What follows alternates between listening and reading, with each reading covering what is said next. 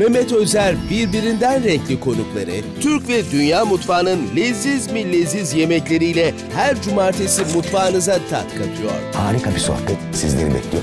Bu haftanın konukları Sema Şimşek ve Hakan Meriçliler. Hamurları, pideleri fırına verdin mi? Çapkınlık yapıp yapmadığını soruyor. Mehmet Özer'le Mutfak'ta yeni bölümüyle Cumartesi Fox'ta.